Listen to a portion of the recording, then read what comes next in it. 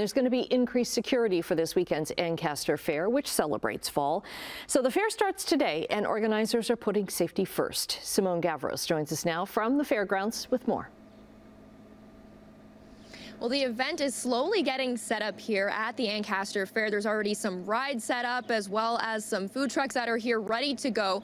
They're expecting to welcome around 50,000 people here at this four-day event, and that's why security and safety is going to be top of mind.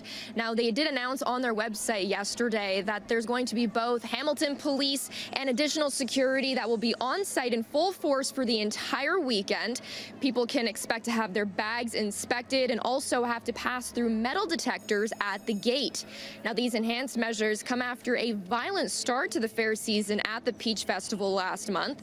The Binbrook Fair also introduced new security measures last weekend, including searching all bags at the gate, improved lighting, and video surveillance.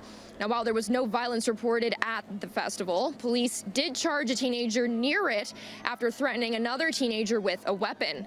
Hamilton police officer Krista-lee Ernst says to be aware of your surroundings when you come to the fairs and be mindful of what you're bringing.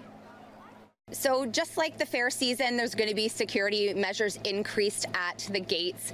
If you're one of those individuals who carries one of those handy pocket knives, the fair's the time to leave that at home. We're going to have a zero tolerance uh, for anything that may be utilized as a weapon. Now, the Ancaster Fair starts tonight at 5 p.m., and police will be here in full force wearing these high visibility vests for any assistance needed.